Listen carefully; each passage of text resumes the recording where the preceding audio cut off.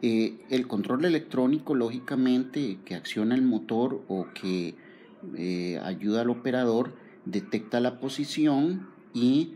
acciona la electroválvula o, el motor que mueve la palanca eh, por el tiempo adecuado para lograr la dispensación. el mecanismo de, la, de, dispensar las tapas funciona con la misma eh, movimiento del sistema y luego al bajar no pega, por lo cual eh, la tapa se mantiene en la posición adecuada.